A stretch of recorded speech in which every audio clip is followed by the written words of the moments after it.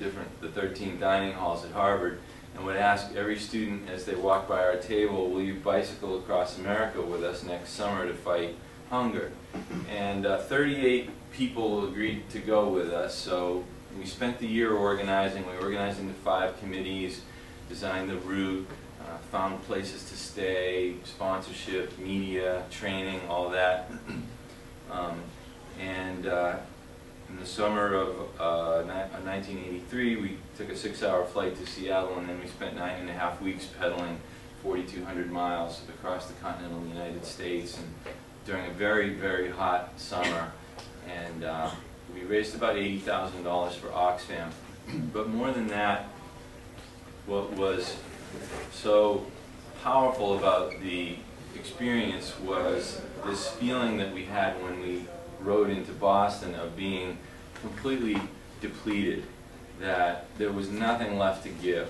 You know, we had capitalized on the full measure of our potential, and that that was really a feeling that I wanted. You know, I didn't feel I didn't want to leave college feeling like there was something still in me to do.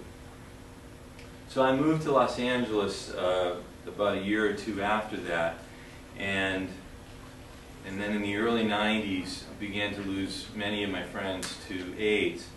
And those were the days before protease inhibitors had been developed. You know, there was just AZT was the only drug out there really. And so a friend of yours would come to you and say, I just found out I'm HIV positive, and six weeks later you'd be gone, you know. Um, and this happened over and over and over again. Um, you'd be going to memorial services and meeting these kids' parents at, at their memorial service for the first time. And you had tremendous grief, and you wanted to do something big about it, but again, there was nothing big the average person could do. You know, you could buy a red ribbon, or you could go to like a black tie charity dinner. But you know, when you just buried a bunch of your friends, those things don't somehow measure up to what you really have inside of you. And so I, knowing the power of that cross-country ride, I thought, well, what if we, the AIDS epidemic needs something big like that. So we created a seven-day bike ride called California AIDS Ride from San Francisco to Los Angeles, 600 miles. You had to go the whole seven days. You had to go the whole 600 miles. Um, you'd sleep in a tent with a stranger in this big encampment that we created. And what was different about it is we set a minimum pledge requirement. You had to raise $2,000 in order to go. And that was pretty radical and it was pretty new. Up until then, charitable event policy had been to welcome people no matter what they raised. It was almost an ethic, um, but it wasn't a revenue model. And so we knew that in order to raise serious money, there, there had to be some threshold that people had to get beyond.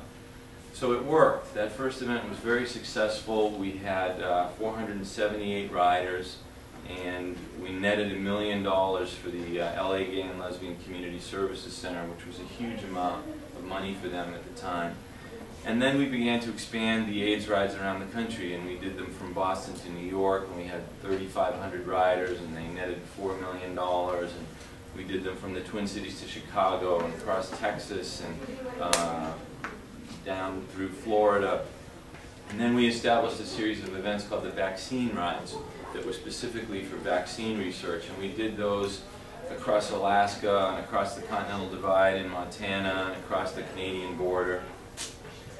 And in the midst of all of that, we looked at the issue of breast cancer, where there was a similar dynamic, that people were losing their mothers and their sisters and their, their wives, but there was no, nothing big you could do to express your desire to make a difference there. So we asked simply, we looked at the walkathon model and asked, why are walkathons always five or 10 kilometers long? Who made up that rule? let's make a really long walkathon.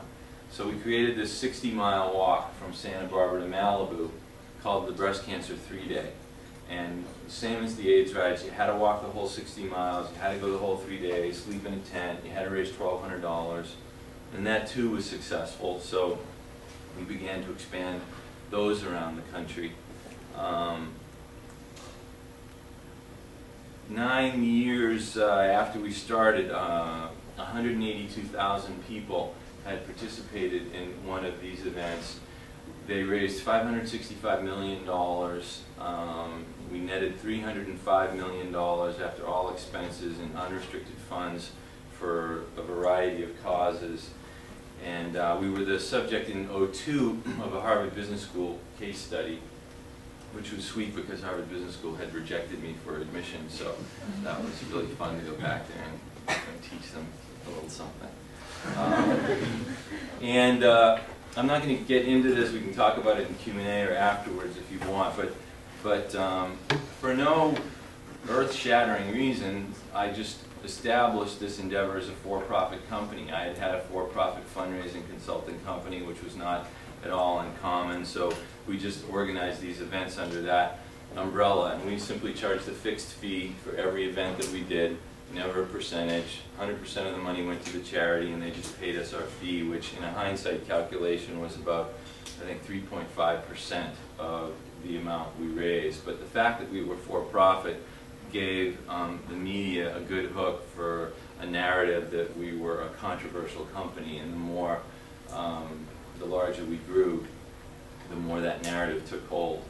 Uh, this uh, is one of five sections of the mobile city that we would build every night. So there were these tent neighborhoods on a grid and everybody had a tent to dress and you know, there were mobile kitchens and mobile showers, hundreds of chemical toilets, dining tents, mobile stages for nightly entertainment, mobile medical units. And this thing had to be uh, taken down every morning, packed up, and moved to the destination the riders or the walkers were headed to and set back up before they arrived.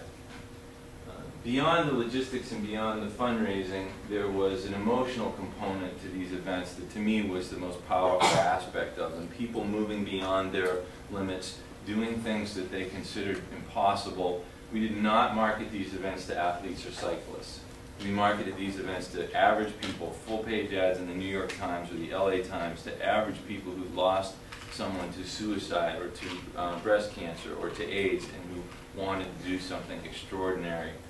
This is an example of one of the TV commercials we used to run for the three days. Dear Mom, having a great time. I was kind of scared. 60 miles in three days, sleeping in a tent but I feel like I'm being carried along on this great big wave of kindness. And they told us this morning no group this small ever raised this much money to fight breast cancer. 2,000 of us. And we raised $7 million. Wish you were here, Mom. I really wish you were here.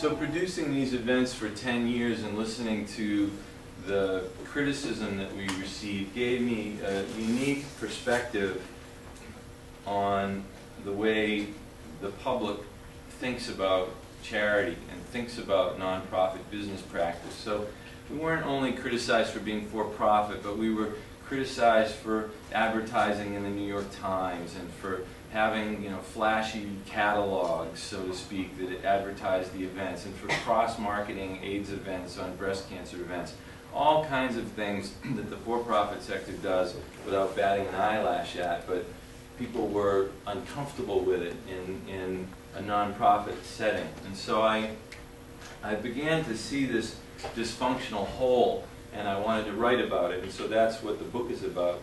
the book is about transforming the way the donating public thinks about charity. It's about changing virtually everything we've been taught because I think that what we've been taught is upside down. I think it's backwards. And on the matter of ethics, I literally think that the paradigm we currently have for change is unethical.